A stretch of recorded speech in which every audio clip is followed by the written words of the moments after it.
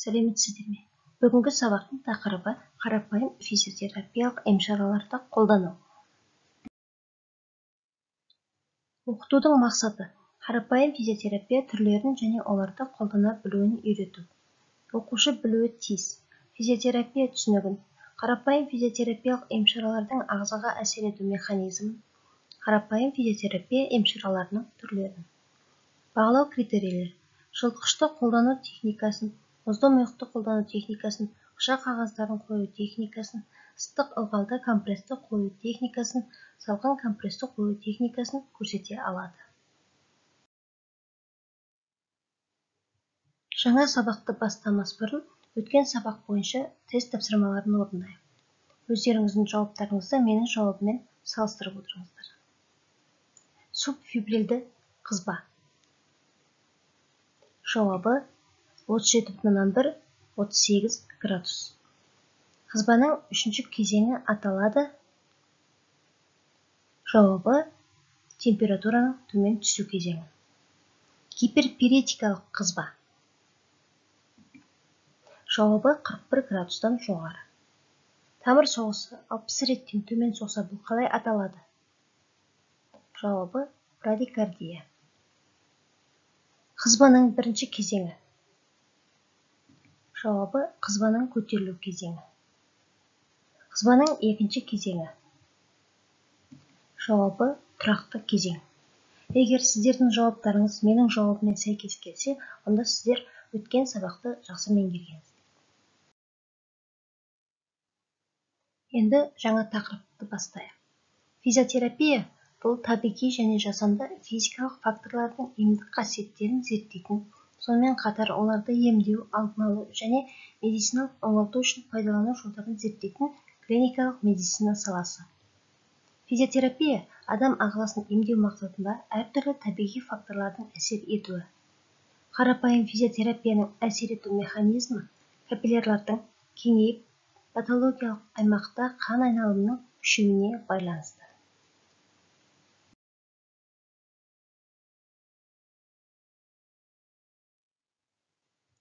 Медицинада келесі физикалық факторлардың әсері сәтті қолданылады.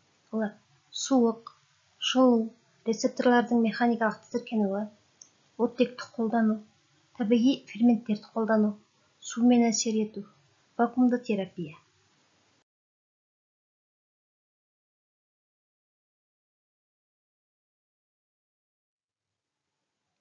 Қарапайым физиопроцедураның түрлері. Мұзды мұйық жылытқыш қыша қағазын қолдану қыздырма компресстер салқын компресстер ыстық компресстер сүлікпен емдеу.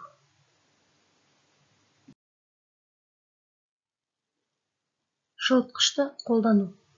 Мақсаты дене учаскелерін жылытып қанмен толуын күшейту. Жергілікті қыздыру әсері. Қолдану көрсетілімдері.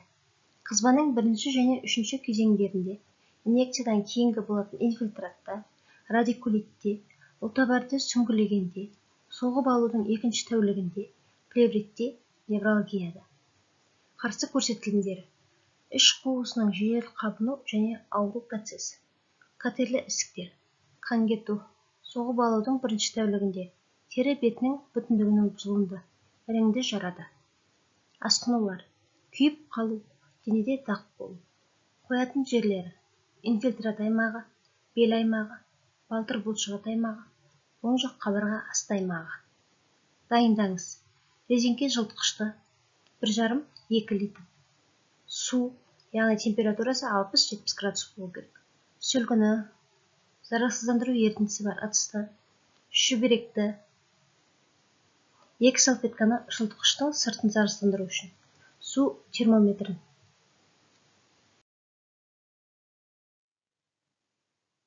Іс әрекет алгоритмі. Бірінші науқасқа емшара мақсатымен барысын түсіндіріңіз оның емшара жасауға рұқсатын алыңыз. Жылытқыштың үштен екі көлеміне ыстық суды құйыңыз. Жылытқыштың мойнынан қысып ауасын шығарыңыз. Тығынын бұрап бекітіңіз. Жылытқыштың тығынын төмен қаратып төңкеріп саңылаустығын тексеріңіз. Жылытқышты сүлгімен құрғатып сүртіңіз. Жылытқышты сүлгіге ораңыз. Қолыңызды гигиеналық деңгейде тазартыңыз жылытқышты дененің қажетті учаскесіне қойып оны салқындағанша ұстаңыз. Жылытқышты алып оны ашып суын төгіңіз. Науқастың терісін қараңыз.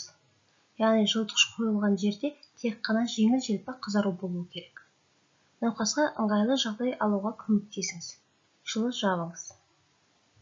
Жылытқышты зарарсыздандыру ерітіндісіне батырылған шүберекпен екі рет арасына 15 минут салып өңдеңіз. Жылытқышты сумен жуып құрғатып арнайы белгіленген жерде сақтаңыз қолғапты шешіп қолыңызды жуып құрғатыңыз ескерту. Жылытқышты жиі немесе ұзақ пайдаланғанда болатын күйудің салдарынан тері түсінің өзгеруін алдын алу үшін жылытқыш астындағы теріге вазелин немесе майды жағыңыз.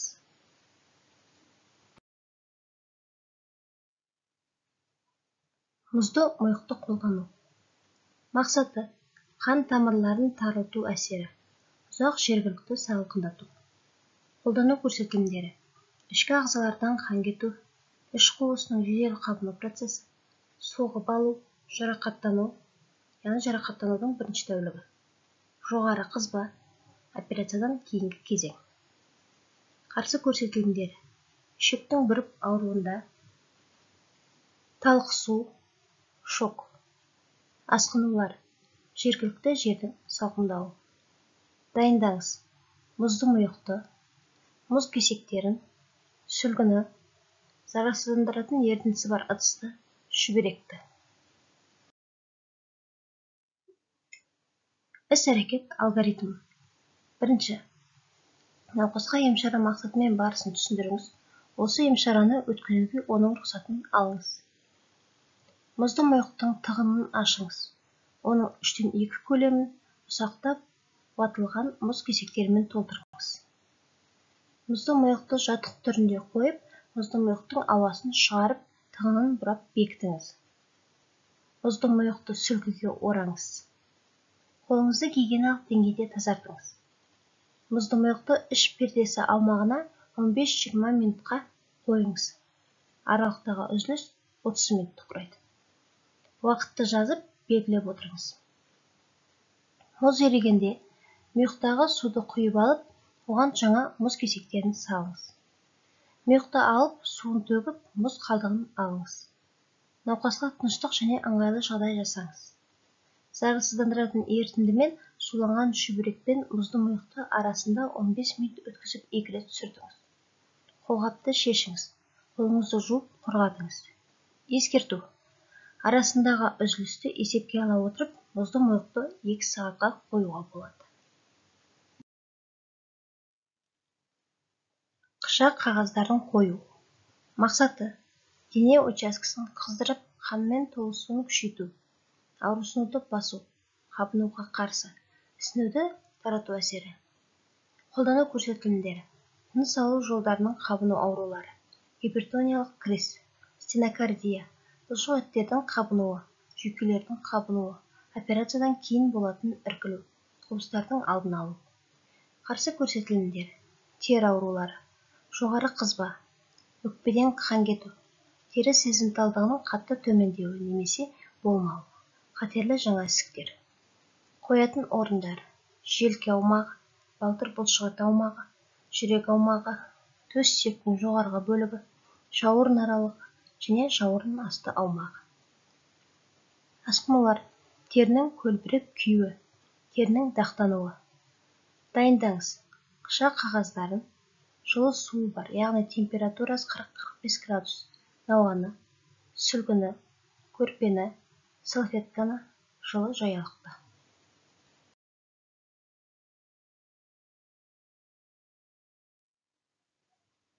іс әрекет алгоритмі. Бірінші науқасқа емшара барысын түсіндіріңіз. Оның келісімін алыңыз. Қолыңызды гигиеналық деңгейде тазартыңыз. Қолғапты киіңіз. Қыша қағаздарының жарамдылығын қолдану мерзімін тексеріңіз. Қыша қағазынан қыша түспеуі керек. Және өзіндік арнайы қышаның иісі сақталуы тиіс. Науқасты ыңғайлы қалыпта жатқызыңыз. Қоятын орынды анықтап терісін қараңыз. Қышаны жылы суға 5-10 секундтай салып алыңыз.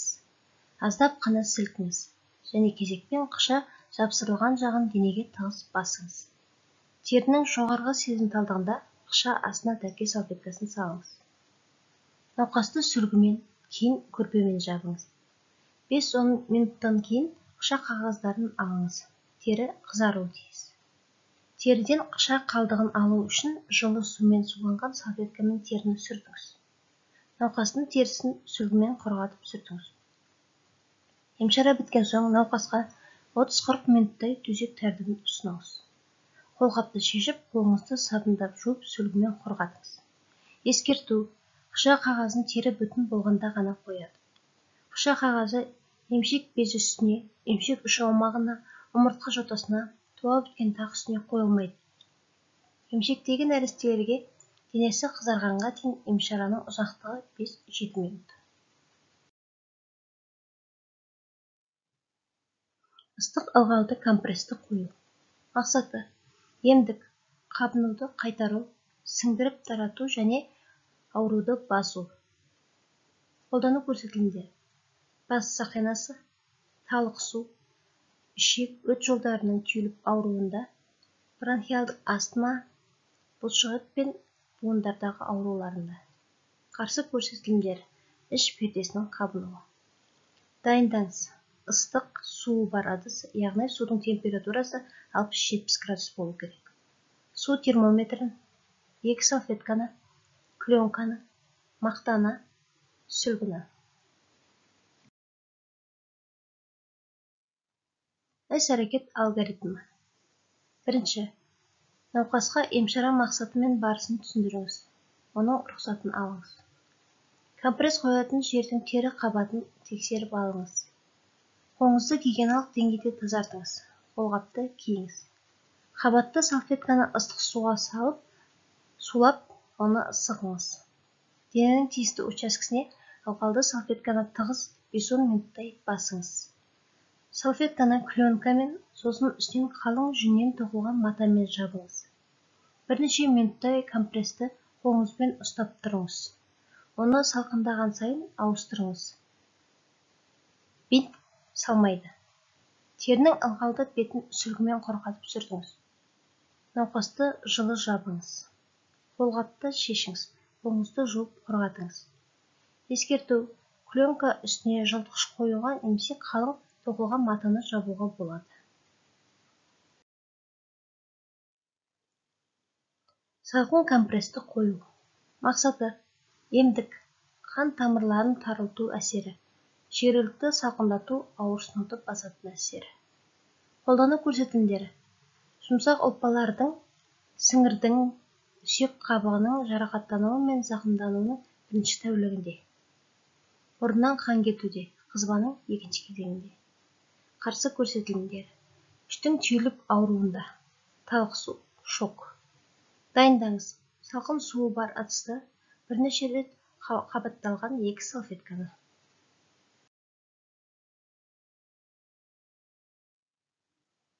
Іс әрекет алгоритмі. Бірінші науқасқа емшара мақсатымен барысын түсіндіріңіз. Оның келісімін алыңыз. Қолыңызды гигиеналық деңгейде тазартыңыз. Қолғапты киіңіз. Даярлаған салфетканы салқын суға салып сулап оны сығыңыз. Салфетканы бірнеше қабатпен бүктеңіз дененің тиісті учаскесіне салфетканы салыңыз. Әрбір екі үш минут сайын салфетканы ауыстырып тұрыңыз. Өйткені салфетка қызуы дененің қызуымен тез теңесіп кетеді. Бірінші салфетканы екіншісімен ауыстырып отырыңыз. Ескерту.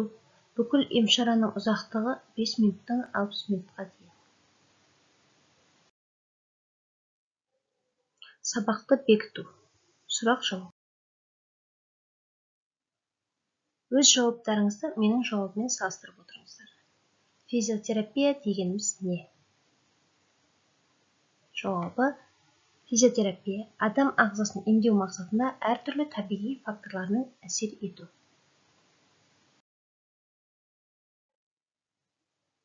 Жылытқыш қоюдың қолдану көрсетілімдері қандай?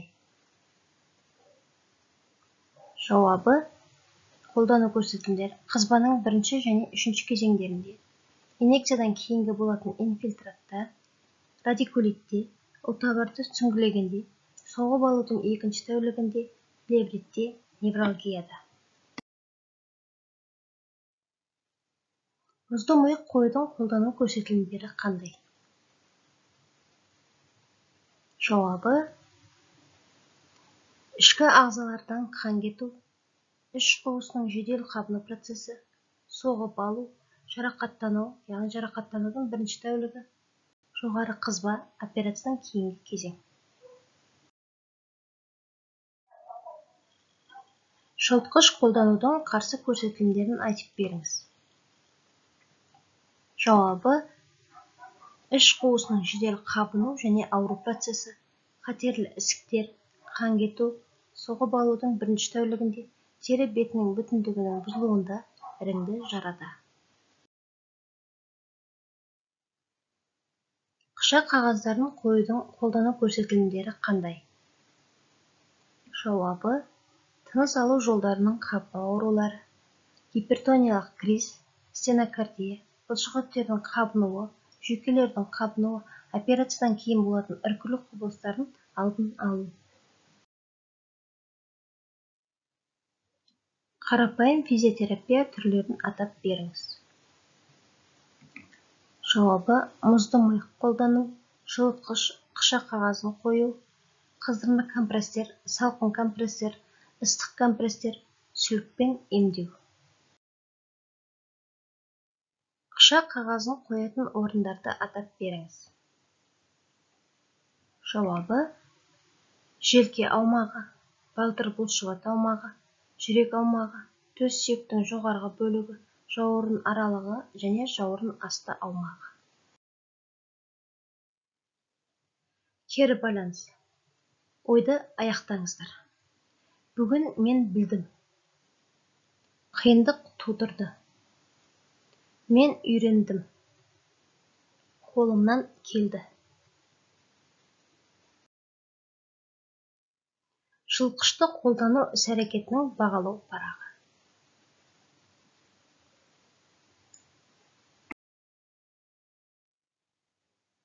Мұзды мұйықты қолдану іс әрекетінің бағалау парағы.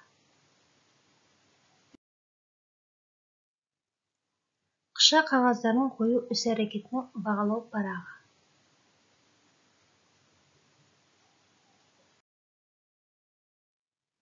Ыстық ылғалды компрессті қою іс әрекетінің бағалау парағы.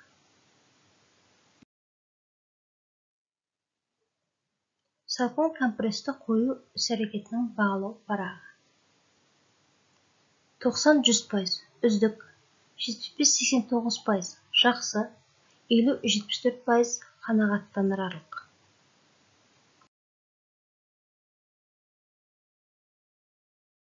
үй тапсырмасы. Күнделік толтыру тақырып бойынша кластер құрастыру жағдаяттық тапсырмаларды шешу. Жағдаяттық тапсырмалар. Тапсырма бір. Мергер науқастың арқасындағы бөртпелерді байқаса да құшақ қағазын қойды. Мергердің іс әрекетіне баға беріңіз. Ақшаны қандай жағдайларда қоюға болмайды? Тапсырма екі.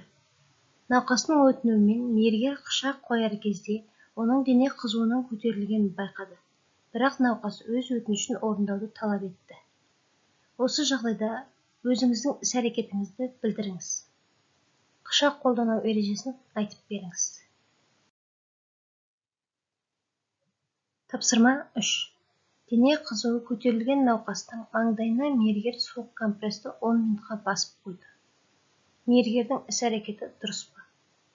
Бұл жағдайда суық компрессті қалай қолданамыз? Тапсырма төрт. Асқазаннан қан кеткенін науқас қалтырап тоңа бастағандықтан мергер жылытқыш берді. Мергердің бұл іс әрекеті дұрыс па? Және өз ойыңызды білдіріңіз. Жылытқышты қолдану көрсеткіштері қандай? Назарларыңызға рахмет. Сау болыңыздар.